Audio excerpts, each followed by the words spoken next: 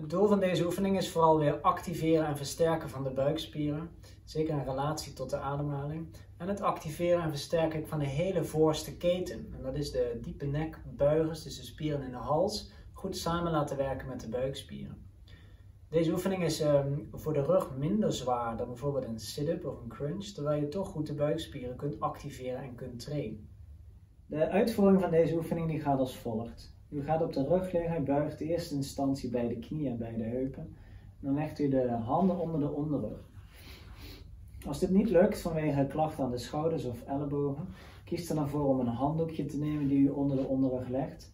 Uh, als dat wel lukt, dan gebruikt u gewoon uw handen. Die plaatst u hier onder de onderrug, net boven de bil of net boven het bekken.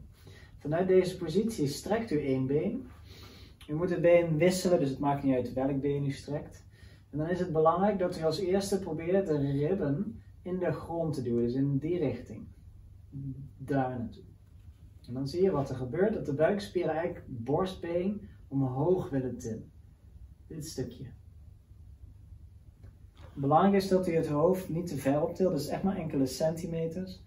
Want wat er vaak gebeurt is dat mensen dit willen doen. Maar de belasting op de rug wordt dan te groot. Dus til het hoofd iets op, de schouderbladen net iets op, vanuit de ribbenkast, dus vanuit die ribbenboog. Daar naartoe. Spanning op de buik voelen. Doorademen. Dan zult u voelen dat u hier moet werken en hier moet werken.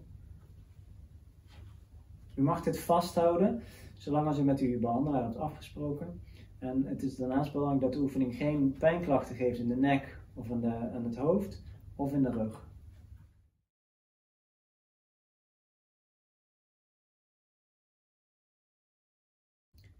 Als u deze oefening zwaarder wil maken, dan kunt u dat doen door de ellebogen van de grond op te tillen. Dat gaat dan als volgt. Stel de uitgangshouding, één been gestrekt, ribben in de grond, iets omhoog en dan de ellebogen omhoog. En dan wat langer vasthouden. Dus bouw het maar op in tijd. En bespreek met uw behandelaar hoe lang u dat dan doet. Maar om het zwaarder te maken, dus til de ellebogen van de grond. Om het lichter te maken, kies er dan weer voor om de ellebogen te laten steunen of de tijdsduur korter te maken, zodat u het minder lang hoeft vol te houden.